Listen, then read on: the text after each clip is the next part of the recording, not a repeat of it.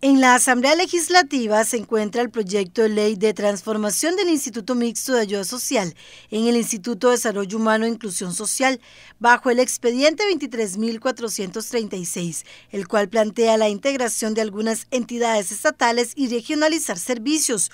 Yurleni León, ministra de Desarrollo Humano, Inclusión Social y presidenta ejecutiva de Limas, habló de esa iniciativa con TV Sur Pérez Celedón, con el fin de dar detalles de qué se trata la población. Soy muy positiva porque creo absolutamente en la necesidad que tiene este país de que se apruebe ese proyecto de ley.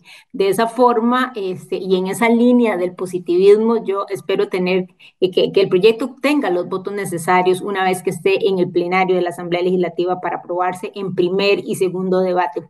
El sector social tiene más de 30 años de no tener una transformación eh, profunda y este proyecto de ley logra entonces identificar cuáles son aquellas poblaciones de urgente necesidad en nuestro país, como son adultos mayores, personas con discapacidad, mujeres jefas de hogar, este, poblaciones indígenas y demás, esas poblaciones que son importantísimas atenderlas eh, y atenderlas bien junto con el resto de la población que se encuentra en condición de pobreza extrema, pobreza básica y vulnerabilidad, logramos entonces identificar cuáles eran esas poblaciones, cuáles son las instituciones que tienen más relación con esas poblaciones. Con ese instituto se espera ordenar y priorizar la fila de atención de la población además de regionalizar los servicios porque muchas instituciones solo están en algunas partes del país, por lo que busca que lleguen a todo el territorio nacional a través de las 37 oficinas que tiene la institución.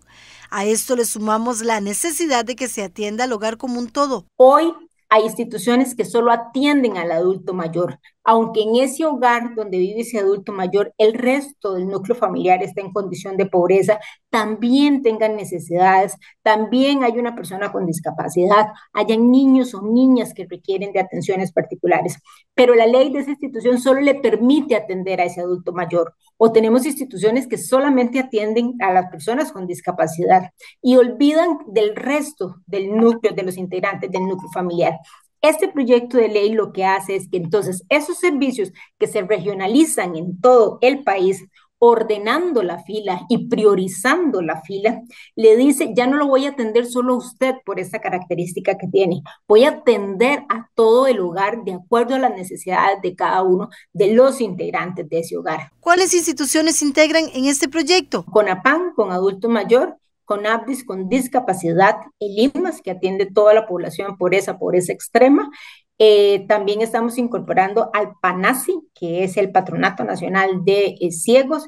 Estamos incorporando la gerencia social de eh, la Junta de Protección Social. No es que nos traemos lo de las loterías y esas cosas, no. Todo eso se queda allá porque la Junta es experta en ese tema, lo que nos traemos es la gerencia social que se integra entonces, porque eh, desde esa gerencia se mantienen programas que están vinculados con adultos mayores, con discapacidad, con jefaturas femeninas y demás. Y nos traemos el FODESAF, que es el Fondo de Desarrollo Social.